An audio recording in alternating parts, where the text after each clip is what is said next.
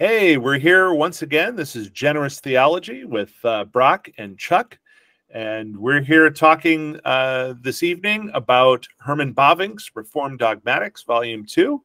And as you can probably see on the screen, today we're going to be talking about acquired knowledge.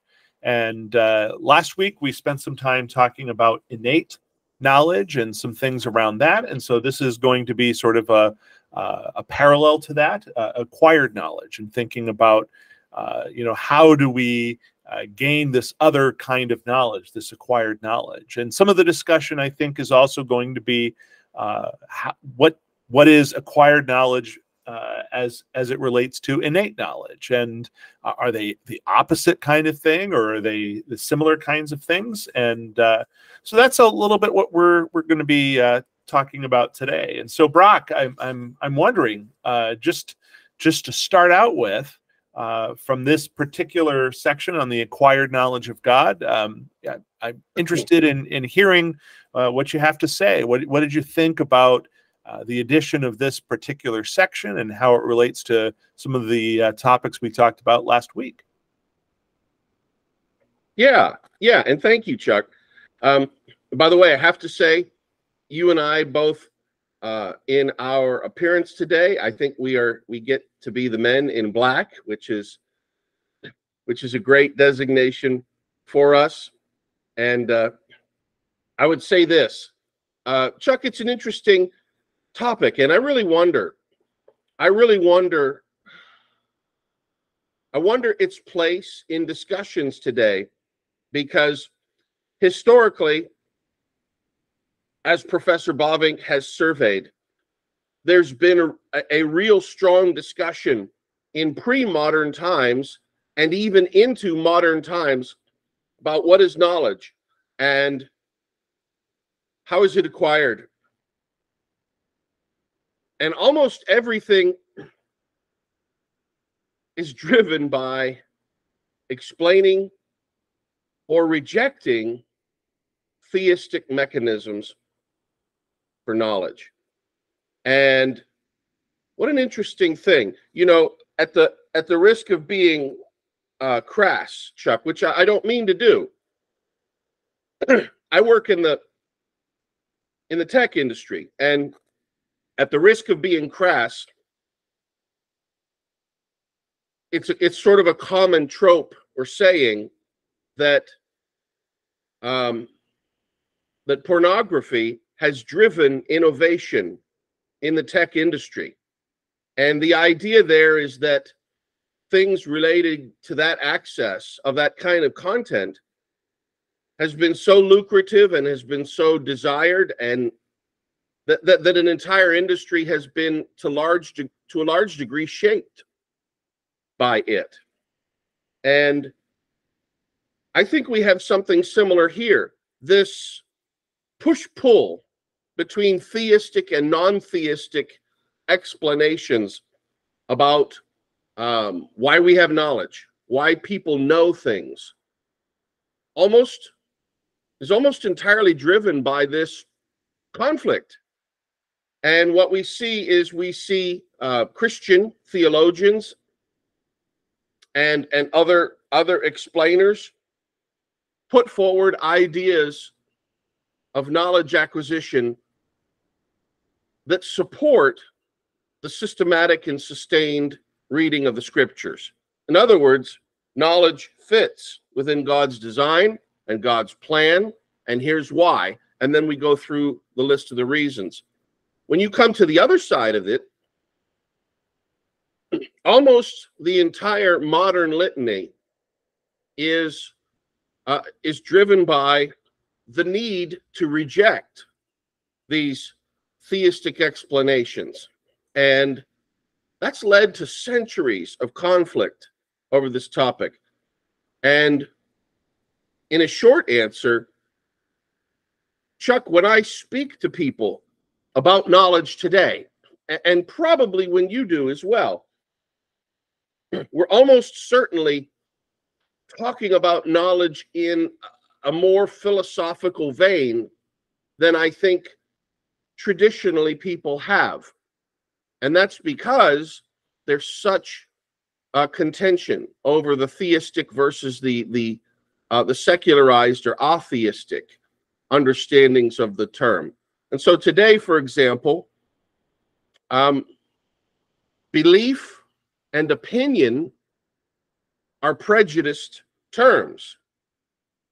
If I come up and say to you, I believe I have a fact about reality, or I have an opinion about reality that it is a certain way, that is typically considered to be something different than I have knowledge. And the key there is has to do with demonstration or a justified true belief or some other rationalistic enlightenment process.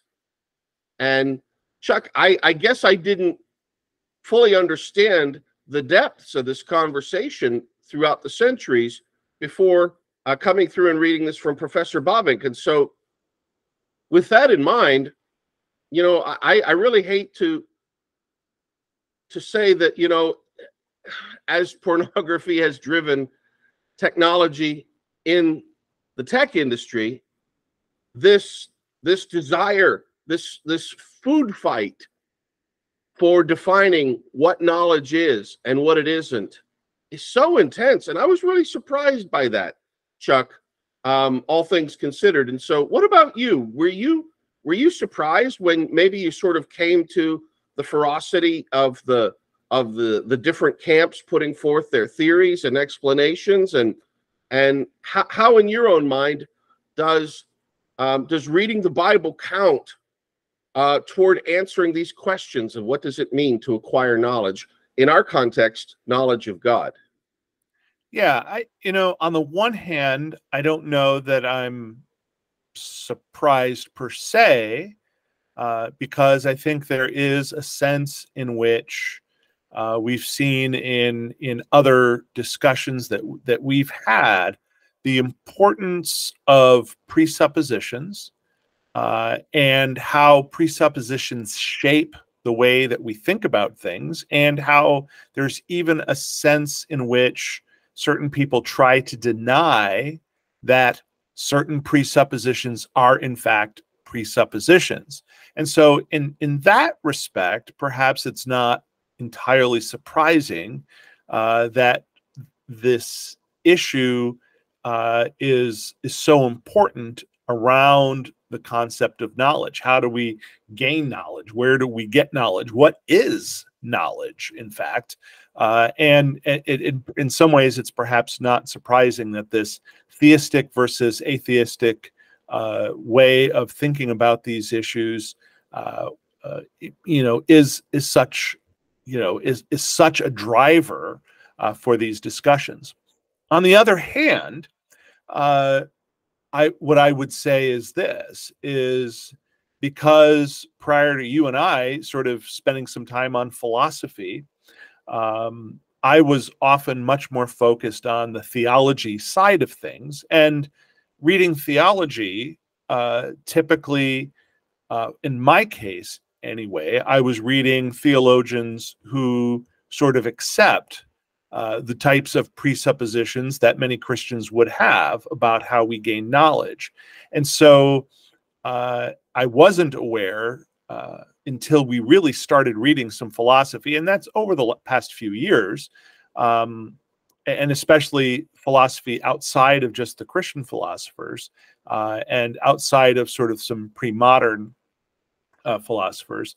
I, I, think I don't know. I, I, don't think I really understood sort of the depth of uh, of the argument and the antipathy, uh, perhaps uh, that there is there uh, in in in describing these things. In fact, you know, until a few years ago, until we started reading uh, first 19th century uh, philosophy and then some medieval philosophy and and tying it into the, the theological work that we were doing when we started, you and I, when we first started, we were doing Reformed ethics uh, by Bavinck.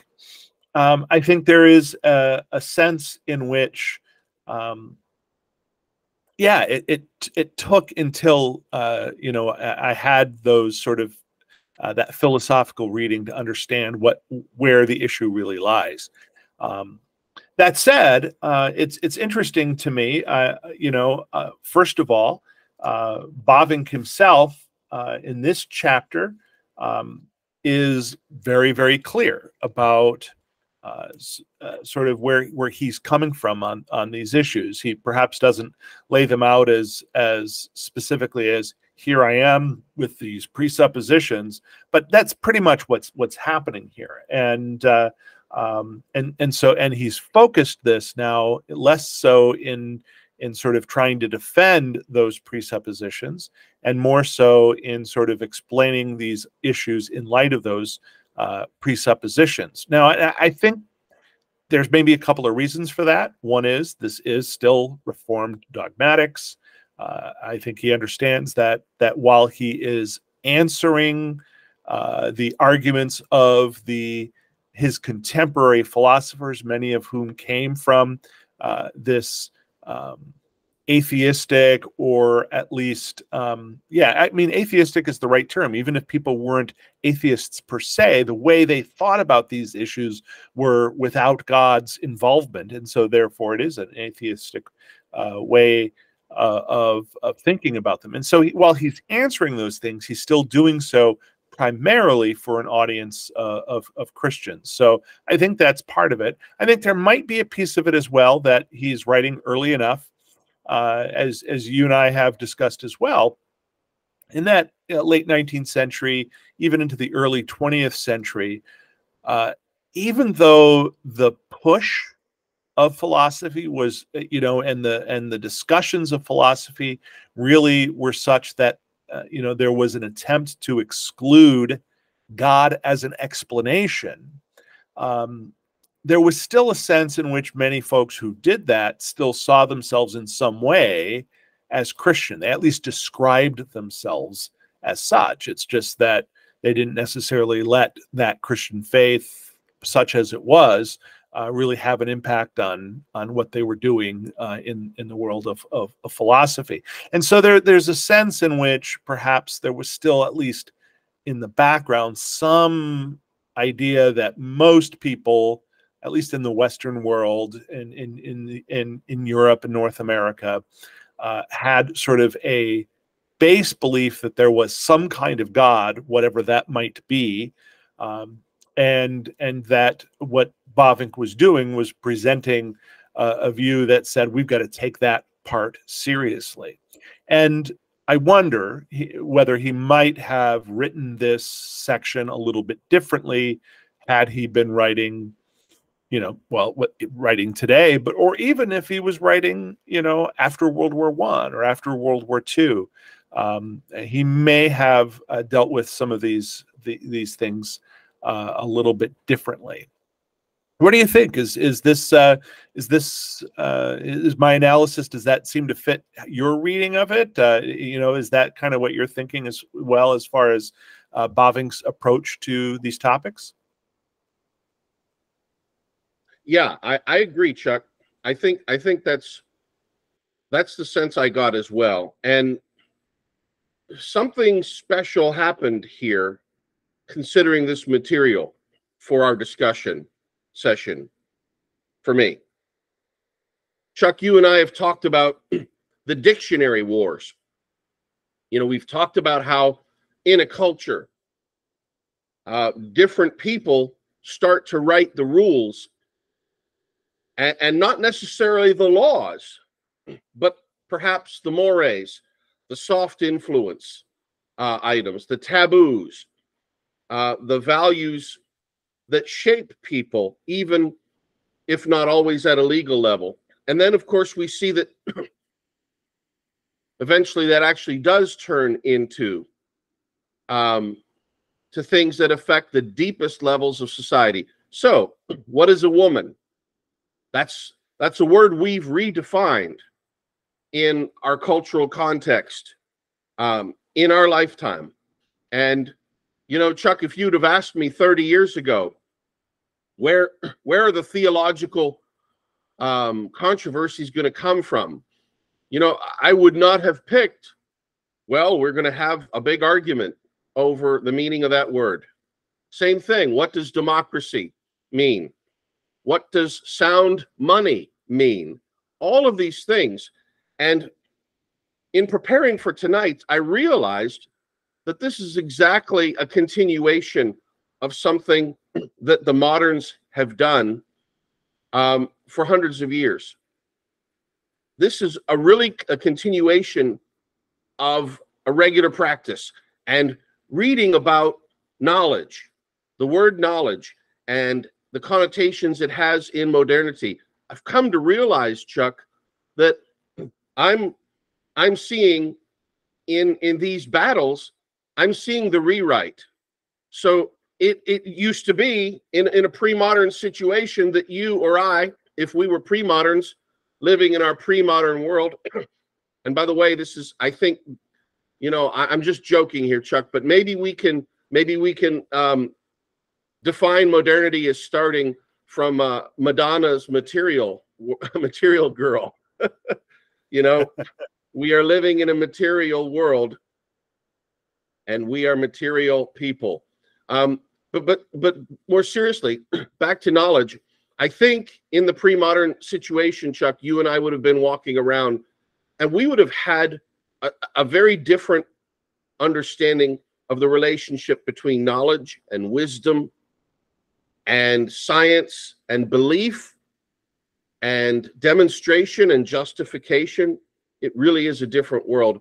And so I almost feel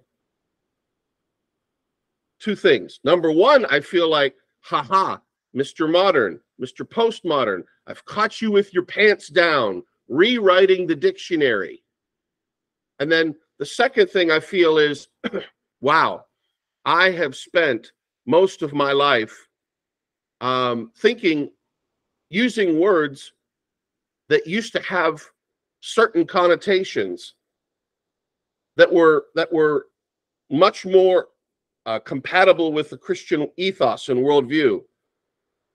And now I'm using those words in the way that secular groups have rewritten them.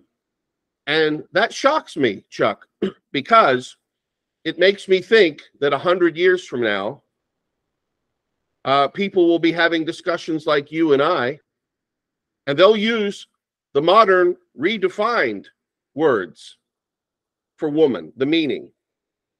And somebody 120 years from now will be in a discussion and say, they'll say, why, why did those people in the in the 19th and 20th century sound so so incongruous with where we are as society today? And then there's going to be a historian somewhere that pops up and said, Oh, boy, do I have some history to tell you. You see, at the time, they actually thought that a woman referred to a biological female. And the whole room is going to go shock and get shocked and, and be, what? What? They, they, they didn't understand that a woman is something different from that. And so that's what I feel reading this ex- essay from Bavinck is um, it seems to me that the disaster of modernism goes back so much further uh, than I'd intended. And in some sense, uh, I've been using uh, mostly the modern dictionary for, for most of my life. And, you know, do I regret it? Do I not regret it? It is what it is, Chuck. But the point here is to note that these dictionary wars are happening. That's the first step. As theologians, what do you and I get to do? We get to describe the landscape before we then decide what we like or don't like about the landscape. And so this section for me is Professor Bavinck talking about the acquired knowledge. This is a lot of buildup. This is a lot of backstory. We haven't gotten into Bavinck himself per se. So Chuck, I just want to maybe maybe float that over towards you. How would you ease into the text from from this sort of backstory starting point that that we're talking about?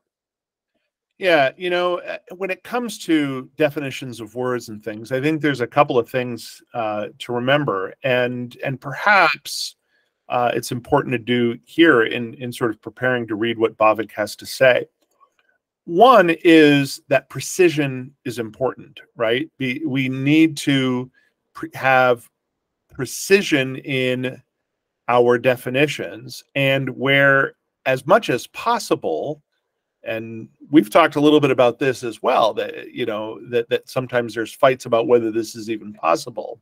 But as much as possible try to um, use precise terms that we can agree have particular meanings. And so uh, you know if if we're going to talk about a word like you you often use the the concept of of woman uh, you know we it's it's always helpful to use precise terms like um, you know, biological uh, female or uh, you know, th- there's there's been a lot of discussion about is there a difference between the word gender and the word sex, um, and and having you know having discussions about those things as part of sort of the pre-discussion, I think, and then being very precise about how we continue to use them, and then insisting on that precision from others uh, is is important. I think another thing, though, that is also just as important, and it's something that you sort of uh, already kind of leaned on a little bit, uh, which is this idea that we have to also understand our own terminology, and we have to understand when we look back that uh, so, that we might be using terminology in a way that's different uh, than uh, previous writers, and the longer the time frame that we're talking about, I think sometimes the easier that is to do.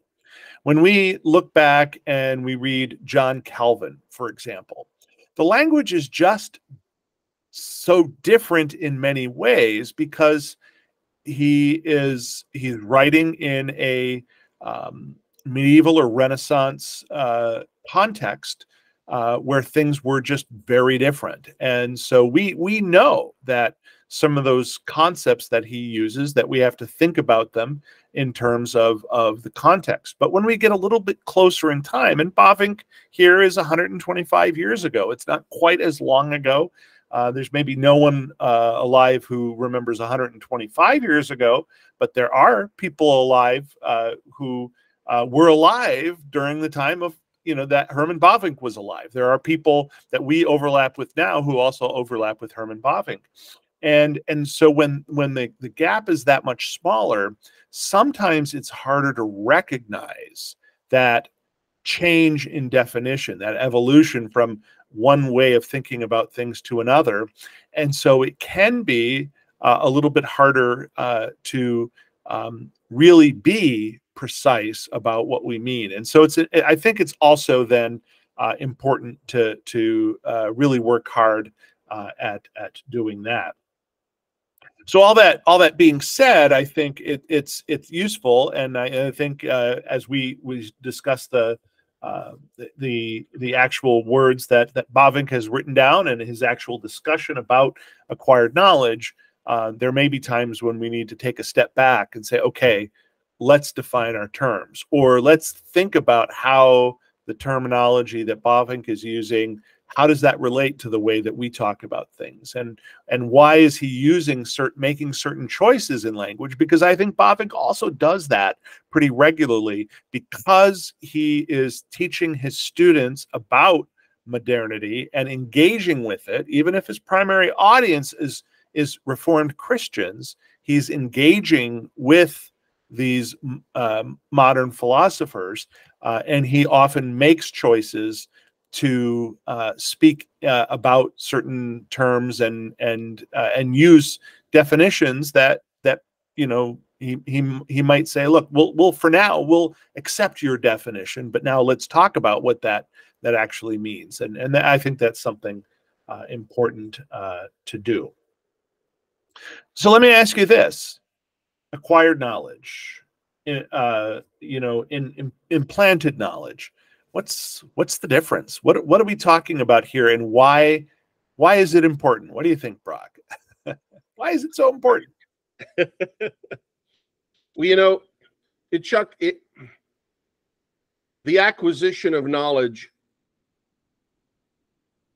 the explanation for it is a story, and I think that's what comes out here.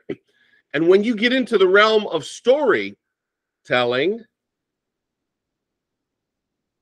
you're into metaphysics.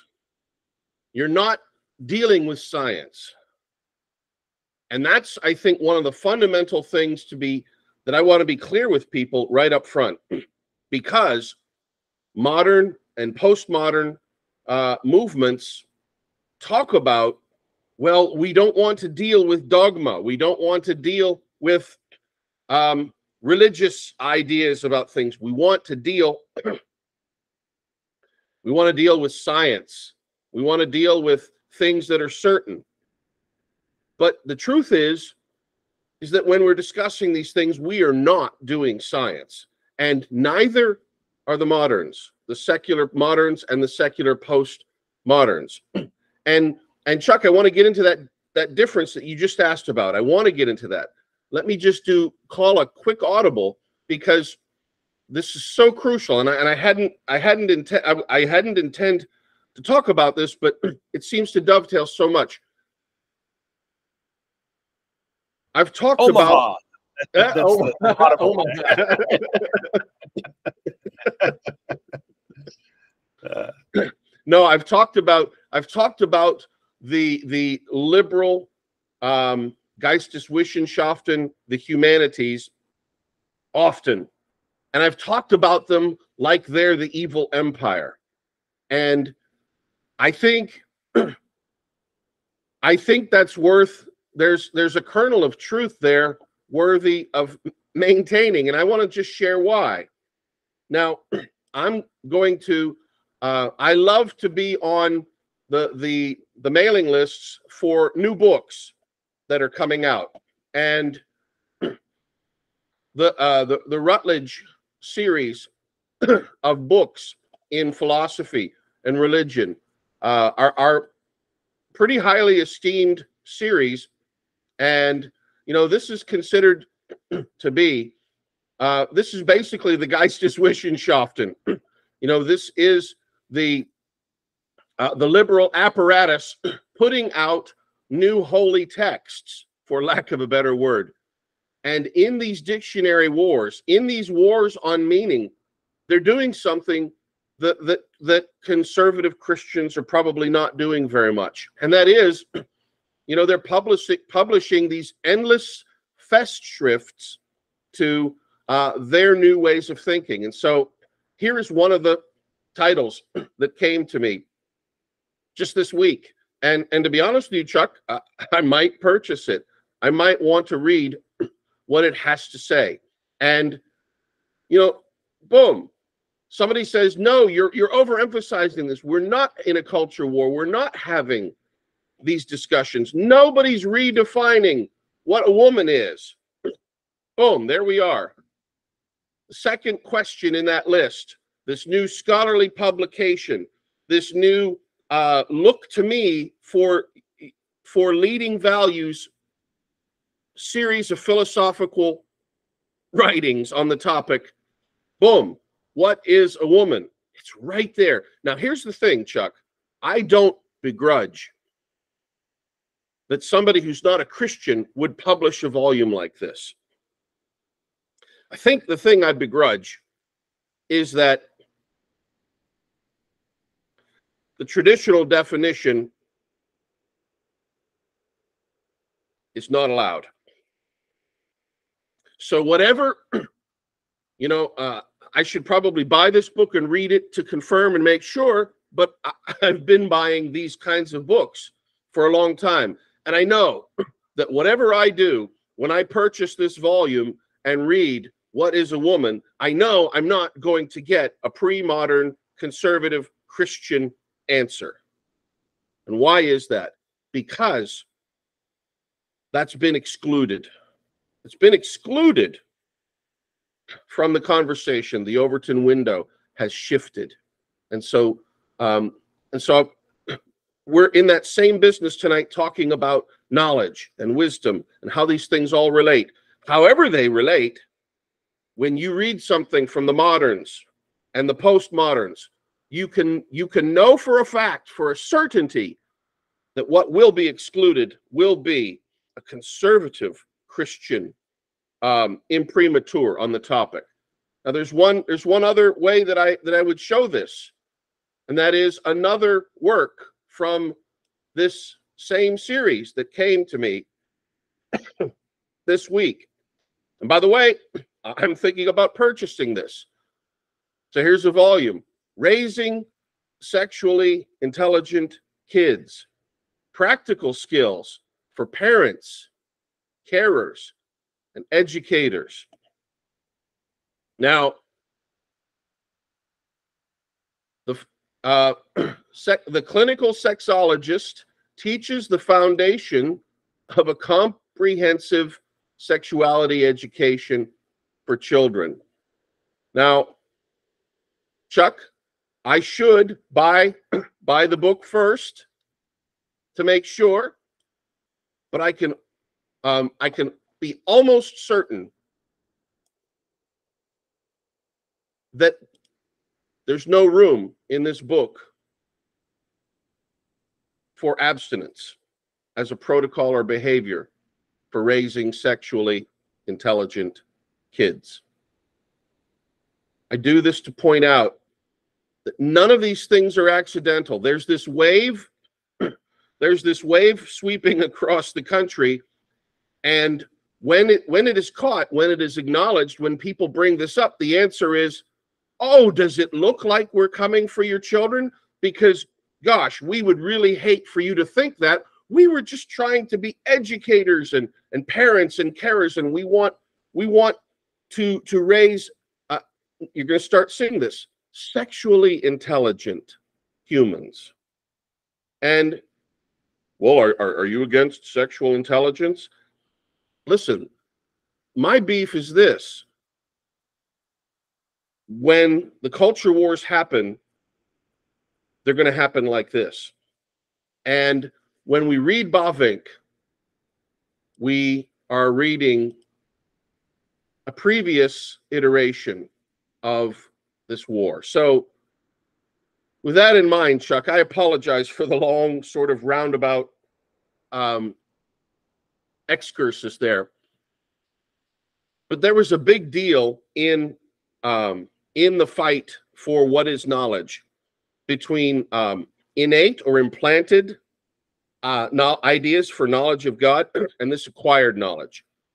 And so where it typically happens is in the area of justification. Christian, why do you believe what you believe? And the answer is this Well, I believe because I have knowledge. Oh, oh, you have knowledge. Are you sure you have knowledge? If so, what kind of knowledge is it? And then these questions are asked Is it acquired knowledge? Did you learn this knowledge? If so, how can you justify that you've actually learned this knowledge living in the world we've lived in? And then the Christian is explaining, well, I went out into the world, I experienced the world, and then I experienced the, the beauty of it. And from there, my senses were just overwhelmed by this world I live. Well, uh, okay, but but but how is that knowledge of God? And, and then someone else will say something. Well, you see, I have this idea, this knowledge about God, because He's implanted it in me. And and there we have Calvin's sense, uh, sensus divinitatis, this seed of religion uh, that is asserted to just be a part of the structure of being designed and built by a creator.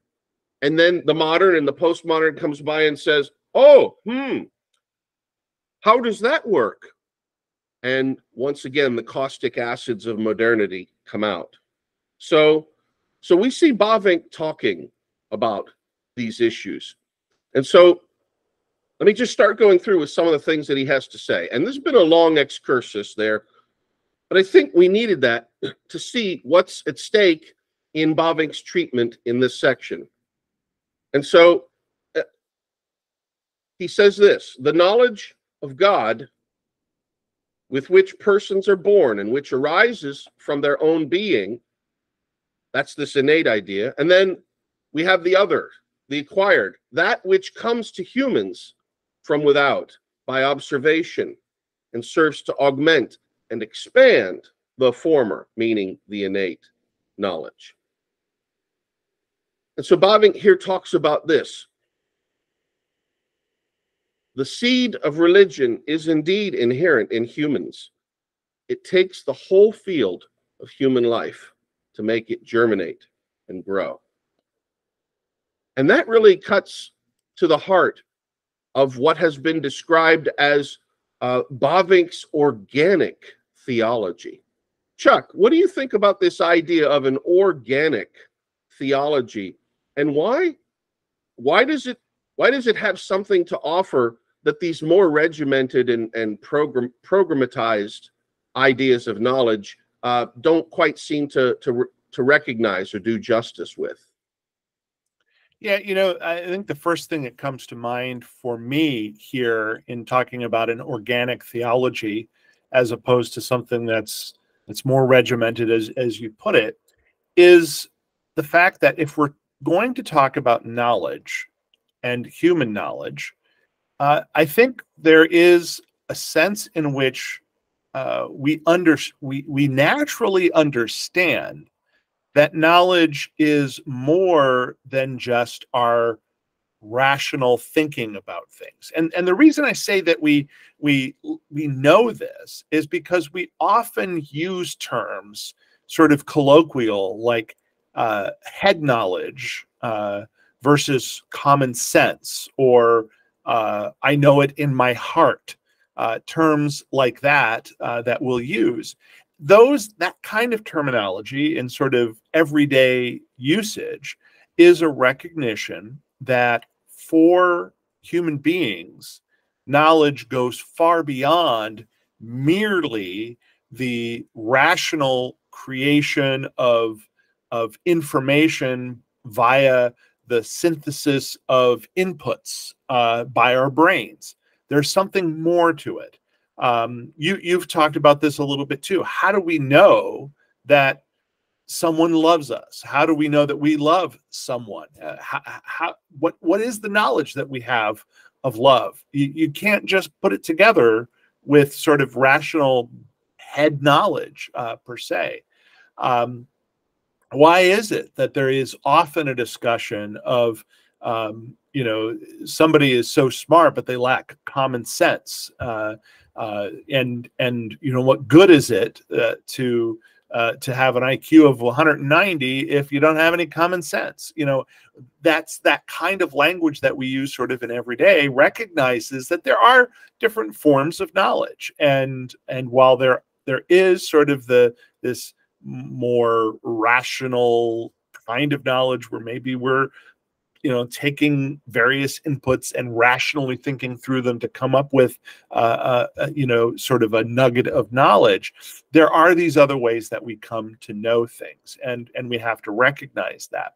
And so a more organic theology when it comes to this idea of knowledge is really a recognition of that that we know in ways far beyond what what uh, the modern philosopher wants to accept as as what is real knowledge. And and and and that sort of naive uh, way of thinking and i by naive i don't mean stupid.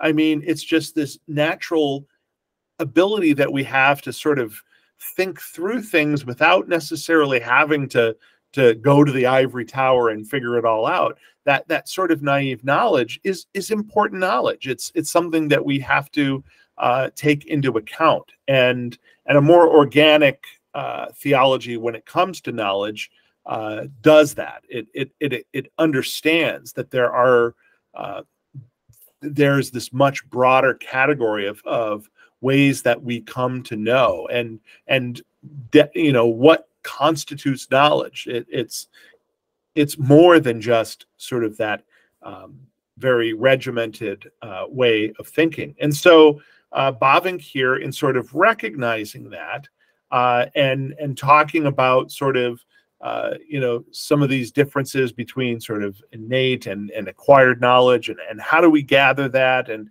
and what are the different ways that we get that and doing so uh, in a more organic way uh, really does um, it, it, it really does deal with the whole person with uh, you know with the fact that we are more than just a brain on a stick uh, but that uh, we are we are holistic people made up of uh, of bodies and souls and and minds and uh, you know and and we have to take that uh, into account. Now, uh, assuming that you know, and assuming you don't think that I'm jumping off the deep end here, uh, and we've talked a little bit about this stuff, so I'm I'm thinking you're not out there saying, "Chuck, what are you talking about? You're crazy." Um, I, I'm I'm interested though in in you know how do you how do you connect that idea of an organic theology uh, with this discussion of an acquired uh, knowledge of God, and and how how do you think Bavinck, uh, you know, what's your analysis of how how Bavinck does this, and how well does he do it, and does he answer some of those questions that we've raised in sort of the build out to this? Chuck, that's fabulous. Uh, Professor Bavinck says some things here that really um, that are just they're some of the most beautiful things and and i'm looking through i'm scrolling through uh right now looking for what i had what i had outlined because uh, i was just so impressed by it. And let me let me start with this one here. First of all is this uh, professor bavinck says the difference is not that innate knowledge of God has its source in humans, while acquired knowledge arises from the world. But in the case of the innate knowledge of God, God's divine revelation acts upon the human consciousness, creating impressions and intuitions. In the case of the acquired knowledge of God. Human beings reflect upon that revelation. Their minds go to work. Thought processes are set in motion. And with clear heads, they seek, by reasoning and proof, to rise from the observation of creatures to the reality of God. Now, that was beautiful, Chuck. But Bavinck has more. He says this humans are not content with impressions and intuitions. It is not sufficient for them to know. They want to know they know. They desire to explain the how and the why of their knowledge. This is also why faith aspires to become theology, and the innate knowledge of God seeks to complete itself in the acquired knowledge of God. So, so rather than being opposites, innate knowledge versus acquired knowledge, rather than being um, completely orthogonal or independent of each other, rather than being completely different categories, in fact, in some way, there is um, there is a compatible uh, quality to them. Now, your your your build out here was so beautiful when you talked about the organic uh, nature of knowledge, and I was struck with another quote from Professor Bavinck. He says this.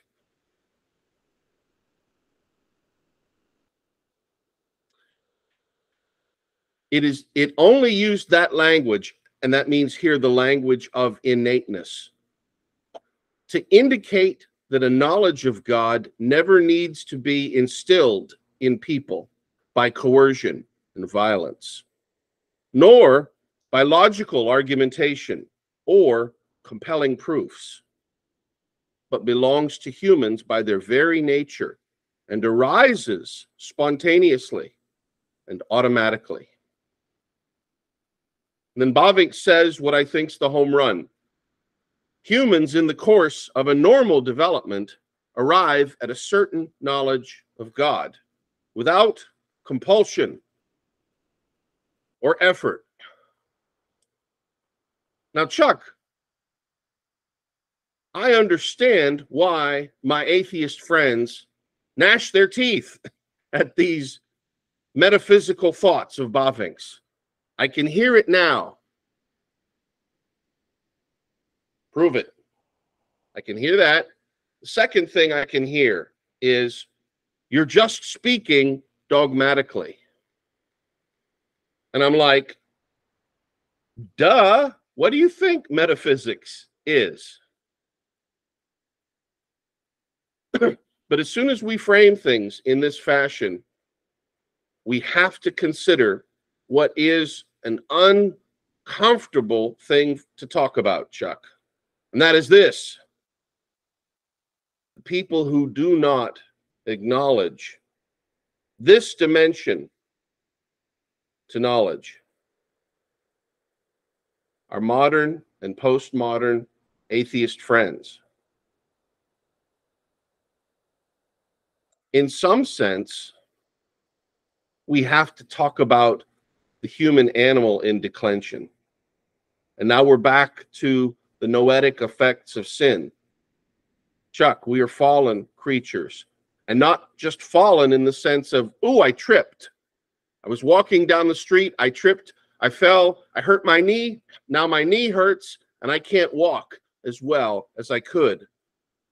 But fallen in the sense that there is this desire, this aggressive desire to rewrite God out of the picture. Whatever the picture is, take him out. And that is, I think, the Achilles heel of the Geisteswissenschaften. And once you see, once you see that our humanities friends will entertain almost any theory of knowledge, but this pre-modern conservative Christian ethos, then then the question is it, to ask is why, and and that's where I kind of want to go with that, Chuck. I'm not I'm not here to I'm not here to to laugh at my atheist friends for being quote unquote lesser beings, as if as if I weren't a sinner, but just to just to say that the stakes are high, and when when we define reality in such a way as to exclude God at every turn and at every corner, I think the question worth answering is why. And so Professor Bavinck here says these beautiful things, and and that was very illuminating to me. Chuck, how was it for you reading this language, and what did it sort of evoke in your mind and in your thought processes? Yeah. So first of all, you know, I, I think you've identified a couple of really key uh, portions of, of this chapter, things that are really worth uh, thinking on. And and I I, I liked that that section uh, that um, that that you uh, referred to. Second of all, there the, this idea that knowledge of God never needs to be instilled in people by coercion or violence, not by logical argumentation or compelling proofs, but belongs to humans by their very nature and arises spontaneously and automatically. And and I think you know as I was reading that I was I was and then the, the, it goes further to to talk about how innate knowledge and and uh, acquired knowledge aren't opposition in opposition to each other. They're not total so total opposites that they're fighting each other.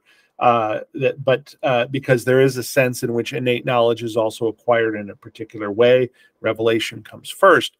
Uh, but uh, I, I was thinking about well, so what is the answer of a more atheistic view on on these things? And uh, as I as I begin this, I, I'm I'm going to you know give the caveat here that not being atheistic myself, it is sometimes hard for me to imagine um, how they how they make those arguments, and so if I'm misrepresenting anything in a particular way, um, I, I apologize for that. But here here's the question that I have.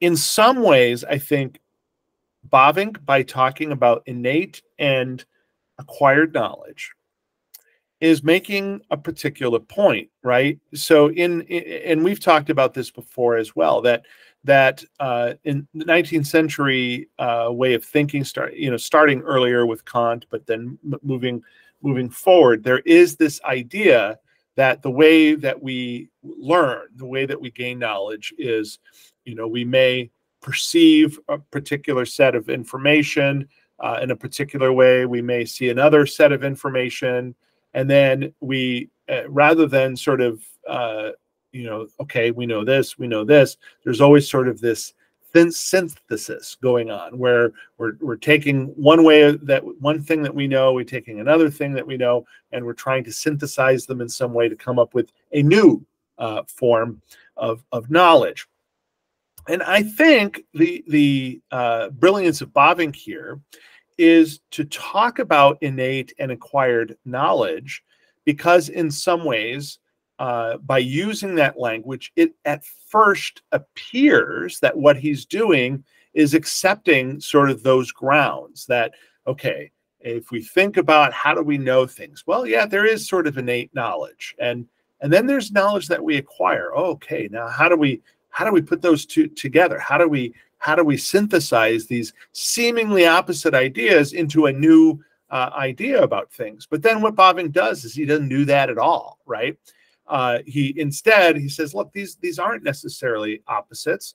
They're they they relate to each other in, in many different ways. And in fact, innate knowledge is a form of acquired knowledge in some ways, even though uh, it, it, it is also different in in in many ways. And the the atheistic thinker has now got to address, well, what do we think? Is there innate knowledge? okay, instinct, that kind of thing. Uh, is there acquired knowledge? Yeah, we, we acquire knowledge in, in various ways, whether it's empirically, whether it's rationally. Um, how do those things relate? Uh, and are they really the opposite things? What what what what can instinct or innate knowledge tell us about how we how we learn these things? And in the end, I think, and this is again, I'm I'm working from from my perspective here. I think what Bavinck is is trying to do is point out that you always have to sort of step back to well, okay, if if if we have instinctual knowledge, where does that come from? What is the nature of that? And you know, today a lot of people would say, well, it's evolutionary it's evolutionary theory. It's it's sort of evolved in us because we had to deal with certain things. And and well, okay, so is that innate knowledge acquired knowledge? Okay, then how did we acquire it? And was there some sort of innate knowledge that allowed us to acquire it? Okay, yeah, you know, maybe it was that you know it, we had to understand we had to perceive sort of the our environment around us in, in order to know how to react to it. And so then when certain animals or certain beings did so in a way that was more um, you know uh, more beneficial for them well they they they're the ones who continued survivors so you know survival of the fittest. And so the evolutionary process continued. But as you build backwards and backwards and backwards where where is the beginning what is what is the acquired or innate knowledge of a single celled uh, creature? Um, what is the innate or acquired knowledge of um, amino acids that sort of happen to come together, uh, you know, on some bare rock, barren rock three billion years ago? Um, and and and and I'm I'm I'm an old earther, so uh, you know I'm not I'm not saying oh this is this is all ridiculous that we're we're going to think that way, but the, I think what Bavinck does here is says, look, there still has to be a place for something to be added in, for there to be some somewhere that we acquire this knowledge, and it can't just go on and on and on to the beginning. You know, you know, it, was there some knowledge inherent in the Big Bang somehow? Is is there is there some information that that sort of synthesized, you know, from just the Big Bang. Um, and and I think what what Bavinck is trying to do here is is in many ways make a case that that pre that atheistic presupposition is faulty on its own. Uh, and if it's faulty on its own, if, if if you can if you can sort of cut the legs out from under that presupposition, well, what does that leave us? This is not a synthesis of atheistic and a theistic view, but rather a cutting out of the legs uh, underneath an atheistic view of things to recognize that the, the only way that we can think about these things is theistically. And so therefore our presum our presuppositions or presumptions that that that we have when we when we talk about these things that Bavinck has in in in working through these things is is reasonable and actually must be taken into account. And once we take into account that there must be some outside power, this God, and, and that you know maybe you know you know maybe uh, uh, uh, someone who's sort of thinking through these things hasn't come to fully accept the idea of a you know a personal God who uh, created everything, but but there must be something that this God is. Well, now where does that come from, and how do we get the knowledge from that God? Well, here it, it has to come from some form of revelation. And so I, I, I just I, it, it it seems to me as I read through this that Bavinck is again maybe using some of the language of modern thinkers, but doing it in some ways to undercut uh, the very basis for uh, the arguments that those those folks make. Now, you tell me, Brock. Even uh, even though I know that you come from the same perspective uh, as I do, very similar uh, perspectives. Am I being unfair to the atheistic way of thinking here, or do you think that's really what's what's what's happening? Chuck, I, I love I love the analysis.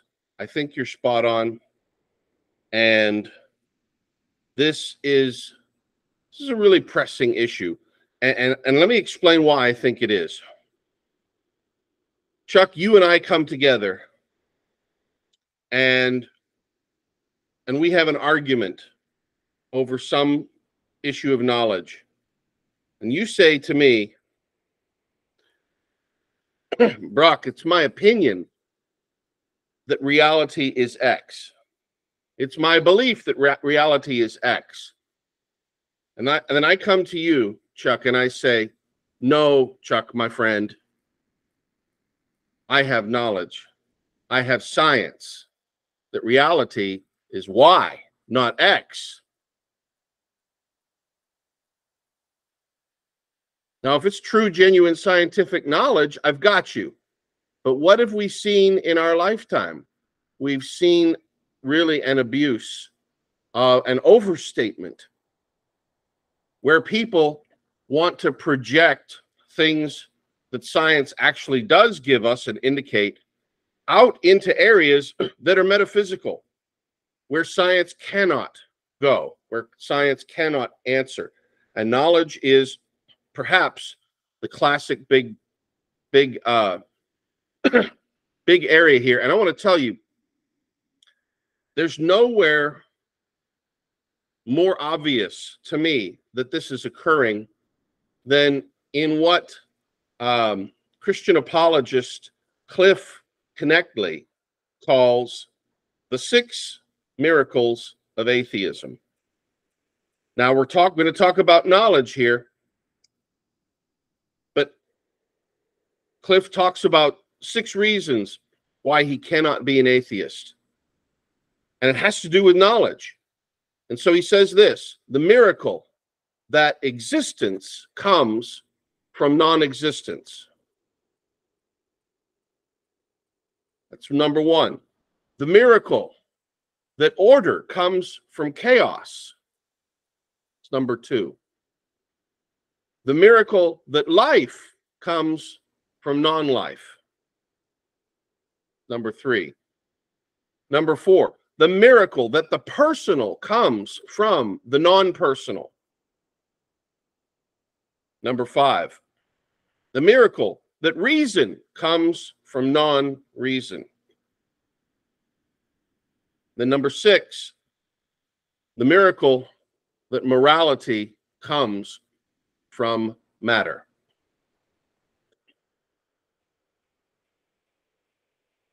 Now, are we talking about miracles? I thought we were talking about knowledge. The point is, is that when you press the moderns and the postmoderns on this,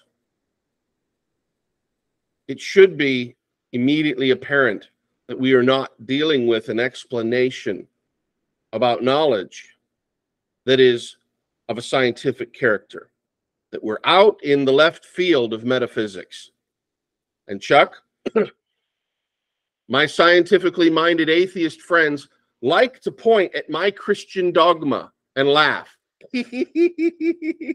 He's speaking dogmatically.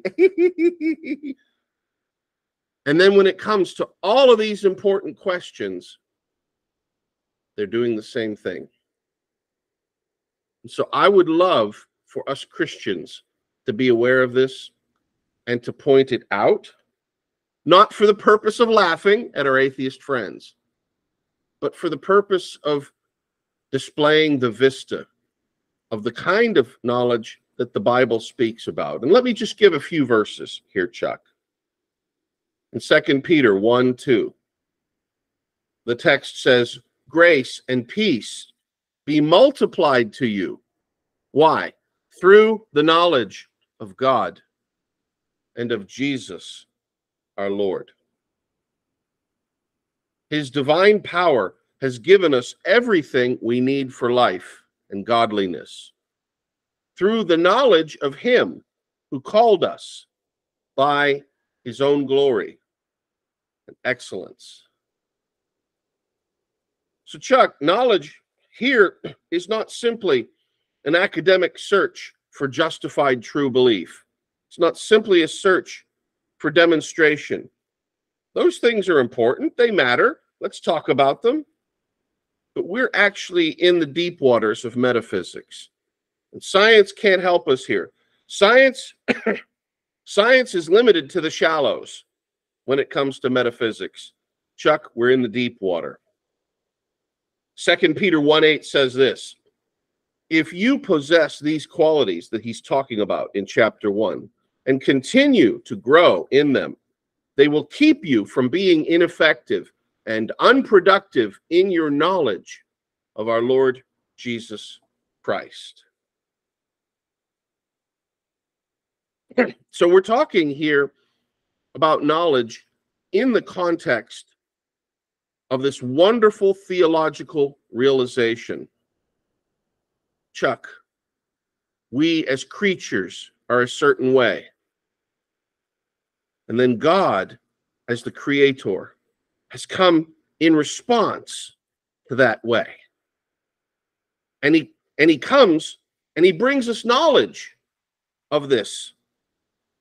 Again, Chuck, we're describing the landscape. What does God say in the scriptures? Be ye holy, for I am holy. Well, Chuck, I'm in I'm in trouble with such a God. Why? Because in myself I am not holy.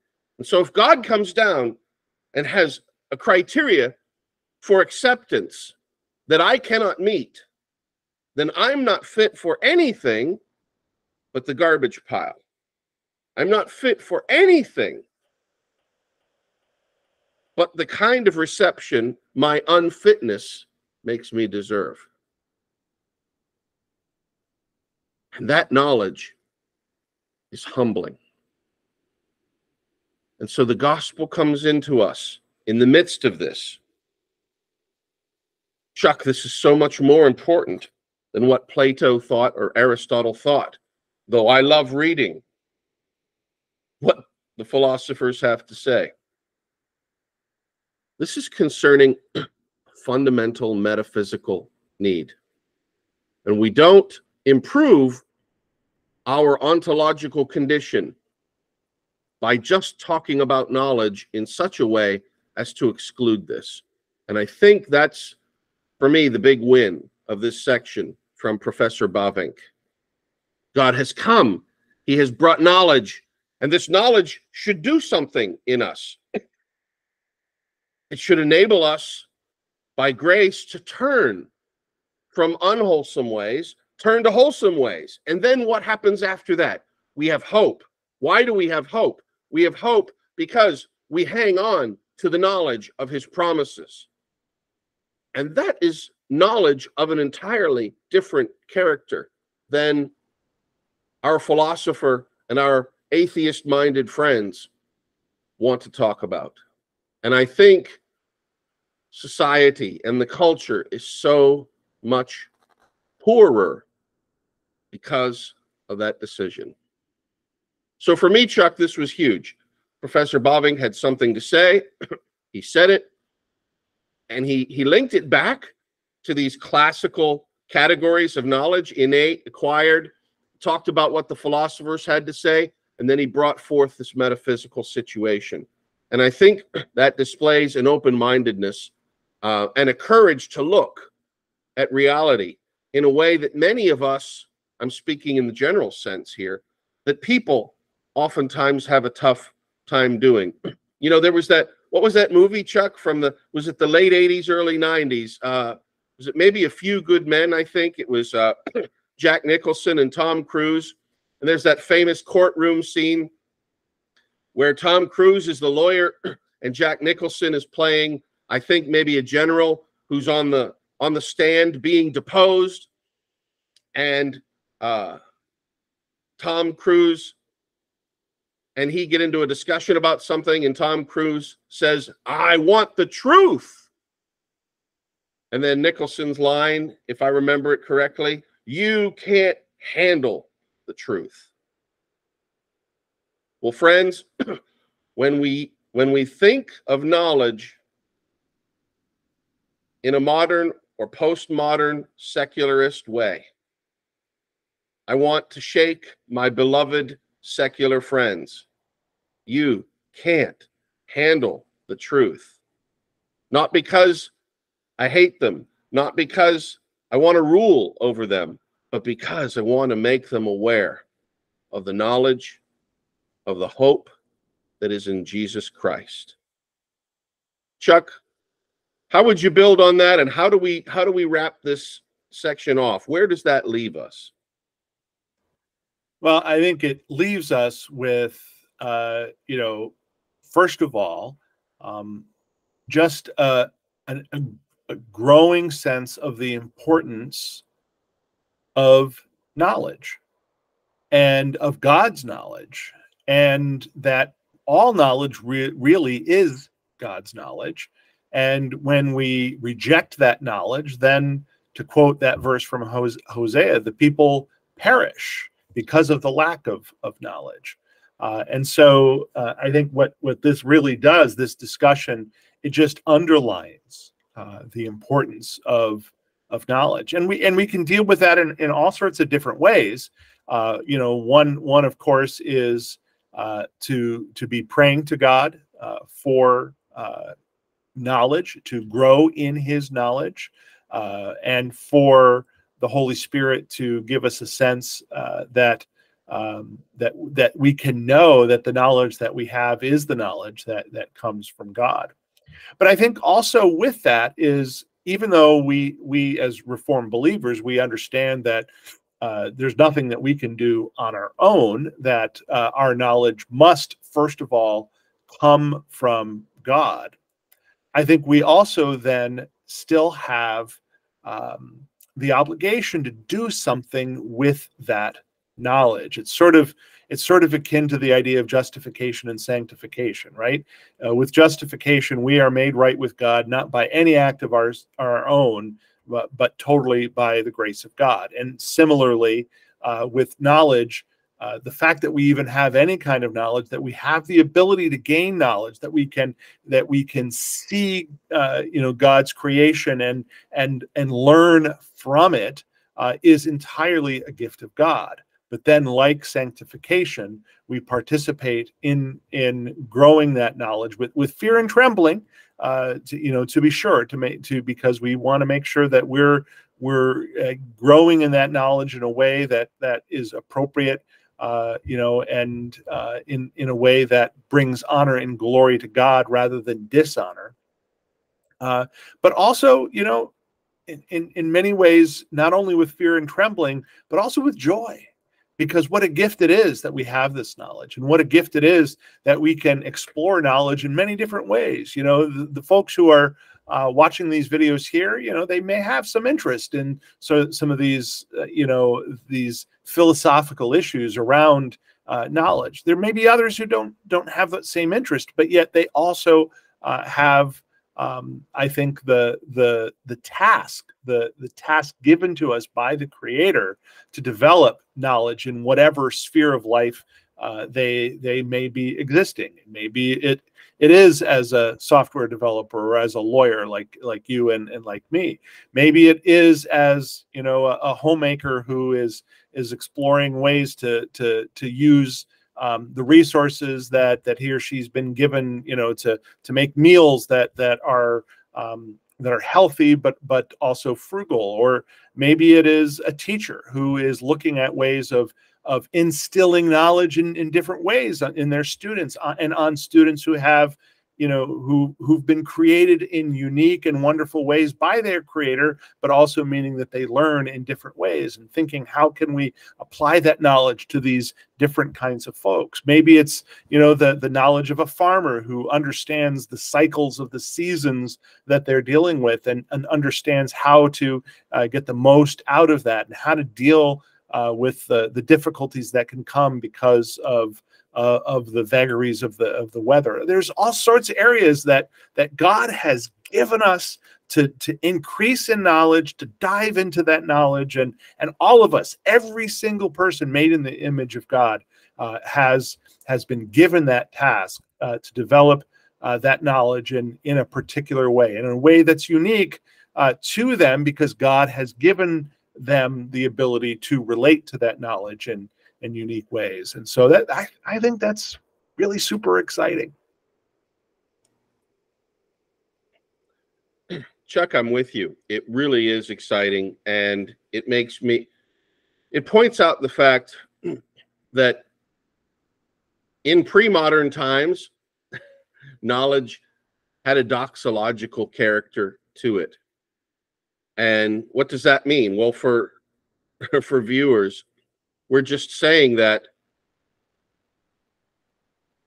when you encounter things in reality, you know, you see that beautiful sunset, or you see the mountains in the distance, or you go to the ocean and see that expanse spread out before you in all of its beauty, in all of its grandeur.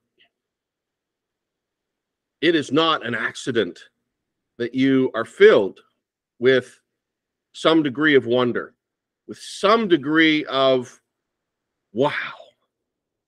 That that is in fact an invitation for the knowledge that's being impressed upon you to stimulate you to praise. And this is what Professor Bavinck would say is the essentially religious character of reality. There it is, Chuck. We couldn't get around it. Reality is essentially religious in its character. And what do we mean by that? Well, when we read Professor Bavinck, we start to understand science is wonderful for talking about questions of mechanism. How? How does does something happen in the world? You know, I put tea on uh, the stove and I heat the water of the tea and it gets hot. And when that tea gets hot, then uh, I put the put the tea bag in, and and something wonderful happens. But it's the why question that matters. Why did I put the tea on the stove to be heated? And it's that human search for meaning that is so often excluded from science that is absolutely essential and bears this religious character. Now, I know our atheist friends are not going to agree with that, and we're going to have some wrestling matches.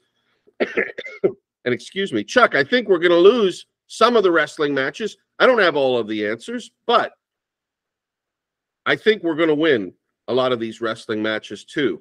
And I think when we come with this view of knowledge, this view of wisdom and belief and opinion, I think something good and wholesome and wonderful is going to come out of it. And Chuck, it makes me want to praise the Lord. So, with that in mind, my friend, would you would you give us some last thoughts and, and maybe close us with a prayer? Absolutely. Let's let's praise God together. I think we can do that in as part of the uh, the closing prayer. Our Father in heaven, praise be to you. Praise be to you, the Lord, the God of Israel, from everlasting to everlasting. Oh, the depth of the riches and the wisdom and the knowledge that, that you have, O God. How unsearchable are your judgments and, and your paths beyond all tracing out. For who has known the mind of the Lord? Who has been his counselor? Who has ever given to you that, that you should repay them? For through you and from you and for you are all things, and so to you be the glory forever. Amen. And yet you give us this this knowledge. You give us the the ability to participate in in union with your son jesus christ and to to to have uh, at least a, a, a sense of of your mind and and at least a, a, a modicum of the knowledge of the lord. And we just praise you and we thank you uh, for that wonderful gift that gift of knowledge. And so, to you, the King, eternal, immortal, and invisible, our only God, uh, be to you honor and glory forever and ever. Amen.